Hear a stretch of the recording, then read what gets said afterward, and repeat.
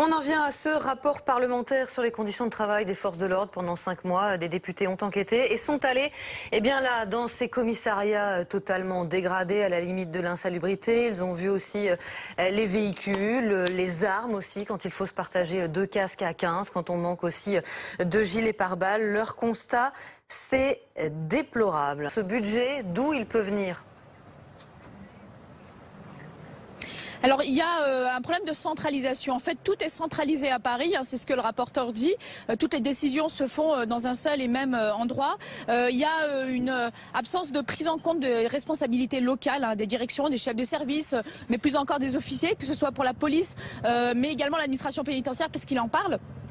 Il, appelle à faire une espèce de parallèle avec la gendarmerie nationale qui a laissé beaucoup plus de responsabilités à ses chefs locaux et éviter que pour remplacer un fauteuil, il faille faire une demande à 300 km de là auprès de la capitale pour pouvoir avoir finalement doléance de quelque chose qui est très simple. En, réalité, ce rapport, il a fonction à dire qu'il faut réhabiliter les locaux. L'immobilier, c'est évident. il parle de ces murs qui s'effondrent sur les fonctionnaires, comme à Fontainebleau de la vétusté, de l'insalubrité, mais il parle aussi de la relation intelligente avec la hiérarchie. Euh, je vous refais encore un parallèle avec les gendarmes qui ont mis en avant dans ce rapport cette relation très intelligente avec les fonctionnaires, que ce soit euh, la notion du débriefing, euh, de la compréhension des missions, etc.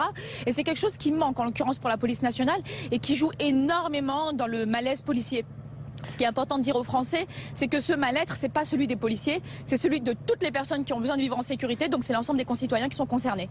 Oui, et quand on va au commissariat, on peut s'en apercevoir hein, que les locaux sont pas en très bon état. Linda Kebab, euh, l'élu dont vous parliez, c'est Jean-Michel Fauvergue, un ancien patron du RAID, aujourd'hui élu de, la majorité. Il fait des préconisations, il parle du leasing pour les véhicules, il parle du développement de la réserve de la police, comme ça existe pour la gendarmerie, euh, d'élargir les prérogatives de la police municipale en matière de sécurité intérieure. C'est des bonnes idées, ça alors il y a à prendre et à laisser. Euh, la mutualisation des services, c'est une très mauvaise idée. On a les, élus locaux hein, qui euh, se lèvent vent debout avec les organisations syndicales que nous sommes. C'est notamment la fermeture de commissariats sur certaines circonscriptions. Et on va euh, demander donc aux administrés de se rendre dans la ville à côté, voire même deux villes plus loin, notamment pour déposer plainte ou même pour le départ des voitures de police secours. Ça, c'est quelque chose contre lequel nous nous battons parce que nous estimons que décentraliser les services de police, c'est s'éloigner de la population et donc du coup, c'est contraire au dialogue et au discours qui veut que la relation entre la population et la police soit meilleure. Euh, il faut une véritable intelligence au sein de la police nationale qu'il n'y a pas aujourd'hui. On a une direction des ressources de la compétence, des compétences de la police nationale, donc c'est celle qui s'y gère l'ensemble des ressources qui est basée à Paris et sur laquelle euh, se centralisent toutes les questions des ressources de la police, qui n'est pas suffisante. Elle ne répond pas suffisamment aux besoins des policiers. Et puis, il y a euh, cette scission entre les policiers du terrain et le politique et qui se retrouve régulièrement dans le rapport avec euh, des notions qui sont évoquées, par exemple, du point de vue législatif, mais qui ne sont pas appliquées sur le terrain. Je parle de la dématérialisation de la procédure pénale. Je parle du recours euh, à l'amende mhm. forfaitaire qui euh, permettrait d'alléger le travail des fonctionnaires, etc.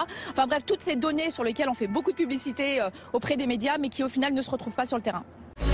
Retrouvez toute notre actualité sur vidéopolice.com, la chaîne YouTube d'unité SGP Police.